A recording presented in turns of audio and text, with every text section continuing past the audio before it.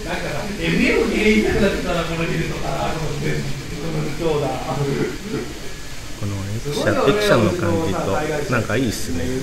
まあ、ちょうど季節してゆ雪のが雪年が残りましたね、そう言われてみると。そうですね。この佇み具合がダブルショットでいいです。